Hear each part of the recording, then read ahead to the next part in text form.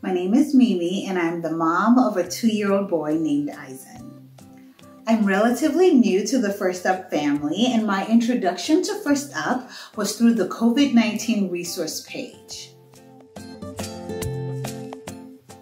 I'm currently a stay home mom and I was looking for new resources to teach and engage my toddler. And so I learned about First Up through my older sister who shared this COVID 19 resource page with me.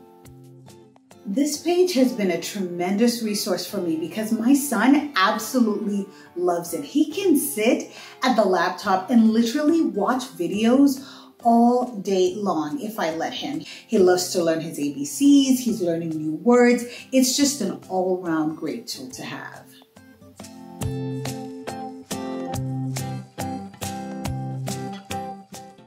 Can you say penguin? P is for penguin.